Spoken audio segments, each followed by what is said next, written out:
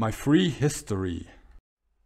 Imagine yourself being a Habsburg soldier in the 16th century, waiting on the attack of an Ottoman army facing you. Suddenly, through the mist figures appear. Your heart stops. If they are Janissaries, you might have to fight them, or run away depending on your preferences. In this video, you will learn how to decide if your opponent is dangerous. Therefore, we will look at the appearance of the Janissaries. Since the Janissaries were soldiers, our modern mindset would expect them to wear uniforms.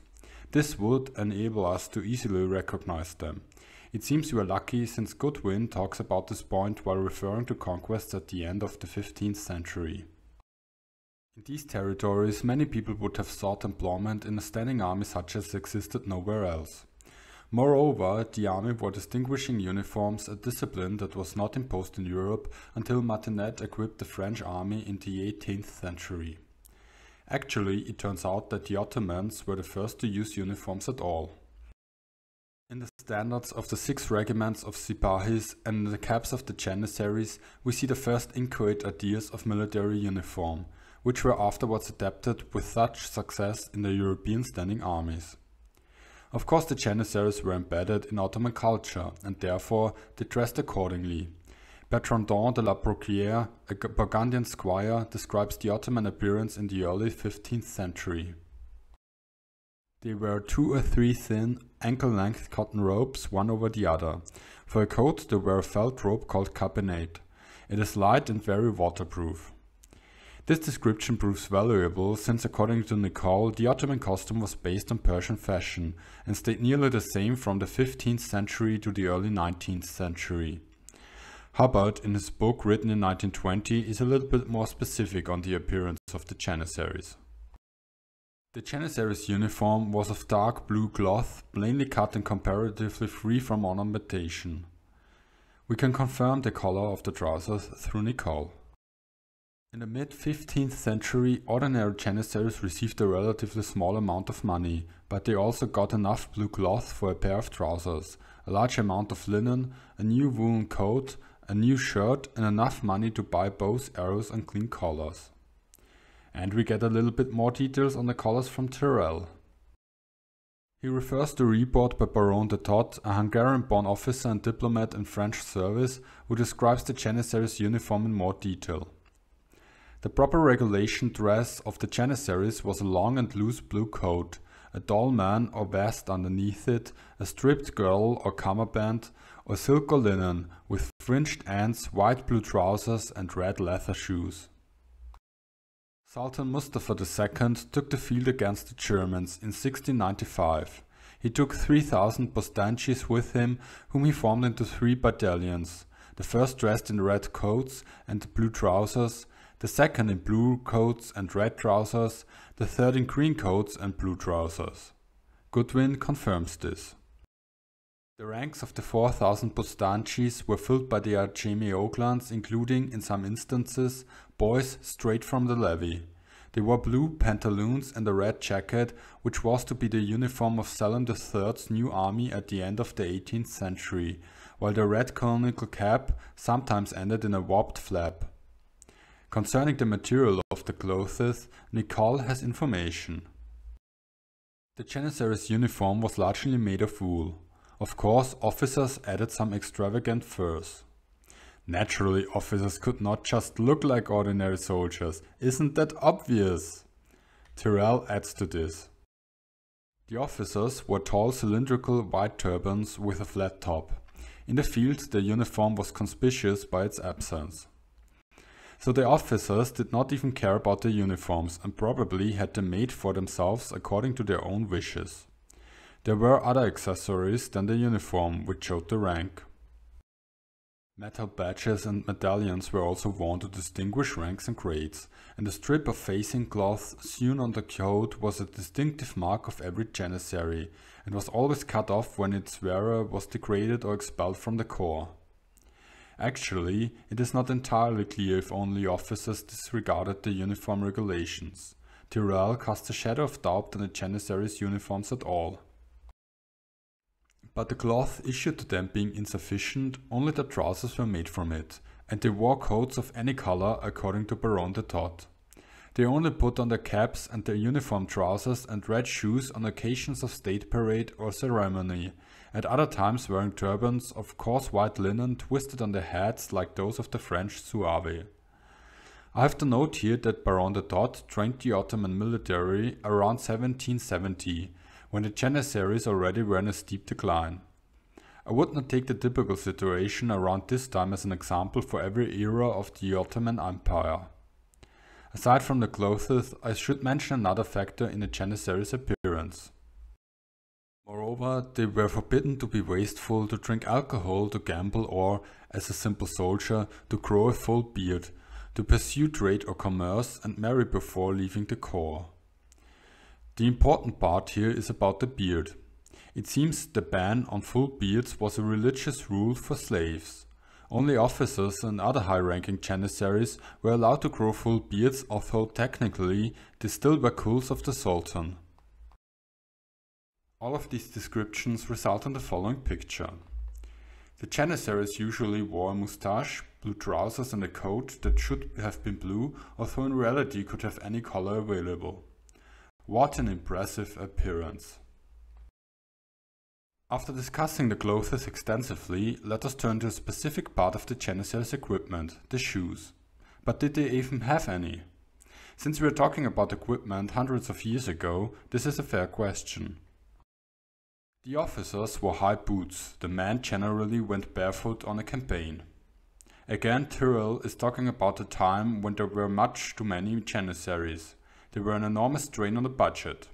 Maybe in earlier times the equipment was better like other sources describe. In the example from 1730, the army market was composed of 85 separate tents. The most represented craft whose members occupied 8 tents with a working capital of 129,600 akçes were the bootmakers. The most heavily invested group was the grocers, who occupied 4 tents with a working capital of 1.4 million akçes so at least bootmaker was a common occupation in the Janissary strain. We have already heard that at least at parades the Janissaries wore red shoes, but actually on campaign boots would be much more useful. Nicolle supports this. They wear knee-high boots and wide breeches, into which they stuff all the ropes so that they will not get in the way when they are fighting or traveling or busy. So we can add the footwear to the picture we already generated for our Janissary. Either they wore red shoes on parade or when being on campaign in the best case they had boots. This picture is getting better and better. Now we will move from the bottom of a Janissary to the top. There they wore a very special item. We heard about conical hats and some sources talk about turbans, but the most prestigious head cover was the börk. The headdress was a white cap, in Turkish akberk, and there's no doubt that it is the headdress later worn by the Janissaries, which Latin writers call mitra or pileus. It was a conical cap of white felt, stiff enough to stand up a few inches above the crown of the head, but so long that the upper part then bent back and fell down behind over the nape of the neck. We've already talked about this white cap in the very first video on this channel. The caps probably originated in the first experiments with slave troops. While the regular troops wore red hats, the slaves received white ones. As a gesture to his new troops, the Sultan put his cap on too. So the börk is a symbol for the connection to the Sultan. Not only inside their heads, but also on the outside, the Janissaries showed their obsession with soup, which we talked about in the video about the organization and the ranks The wooden spoon with which the Janissaries ate the soup was worn by them stuck into the copper plum case which decorated the front of their white felt caps. These felt caps were of different shapes to distinguish the different ranks. The spoons were not meant to be weapons, although they might be useful in self-defense against fresh fruit or a vicious bowl of soup. Therefore, only one, although very important accessoire, can be added to our picture. Now we will investigate everything we just heard about in pictures. Luckily, the relevant paintings, prints, miniatures and photos are too old to have copyright anymore. Palmer describes one of the most prominent pictures of a Janissary as follows. Its form is beautifully recorded for us in Gentile Bellini's drawing of a Janissary made in 1480, now in the British Museum. So let us take Palmer by his word. This print is probably one of the oldest reliable pictures of a Janissary. A prominent part of the Janissary's clothing is the hat, the börk. In this example it is extremely tall.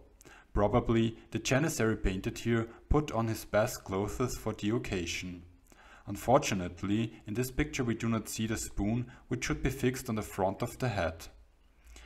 I would like to draw your attention to the bow, the quiver and the small pit we see of the sabre, since we spent a whole episode talking about them. Take a moment to appreciate this print. It is really well done.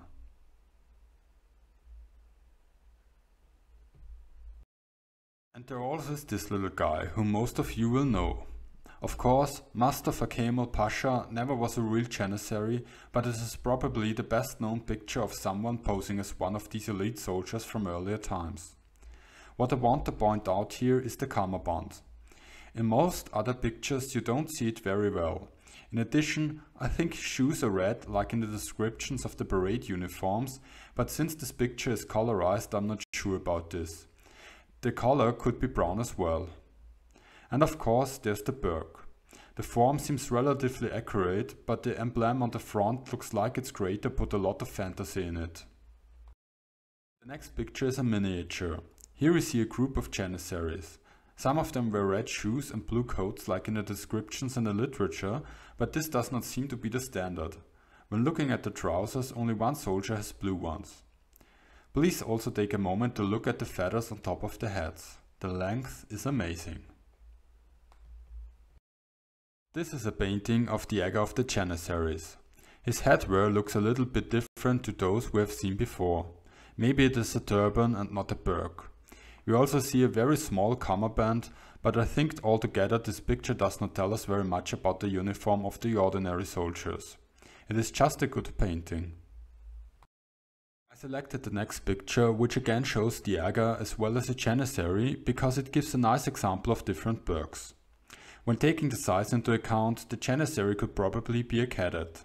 The size of the heads makes it obvious who holds the higher rank. In addition, we see the so-called spoon nest on the front of the head, the metal piece on which the spoon could be placed. In my humble opinion, the börk makes the Janissaries look like nuns, and not like very dangerous soldiers. And finally, there are the pictures I drew in order to symbolize a Janissary. Do you notice any difference in quality compared to the ones before? Surely you don't.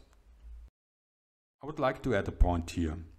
We should look at all the pictures and descriptions with a critical mind. We rely on reports of people like ambassadors. Of course, only the prettiest soldiers were presented to these officials. The ragtag troops were probably kept out of sight. The same thing holds for the painters. They were either paid by some Ottoman official or an artist like Gentile Bellini drew a guy who took some time to pose for the artist and put on the best clothes he could get for this occasion. So please be careful. And this probably is a good place to take a look at what we learned today. We got an overview of a Janissary's appearance. Usually they should wear blue trousers and coats, but in practice a lack of fitting cloth prevented this. Therefore, the colors were more of a mixture and officers would do whatever they wanted anyway. The same held for shoes. On parades they should be red. On campaign the Janissaries probably preferred boots. That is, if they got any, and at least some of them would be lucky since the train included a lot of bootmakers. I started this episode by outlining how important it is to recognize a Janissary and therefore we should know their appearance. Well, the uniforms will turn out to pose an even greater danger to the Janissaries themselves. And now it is your turn again. Do you have better copyright-free pictures of Janissaries? So long, we'll meet again in two weeks. Stay critical, stay curious, stay free,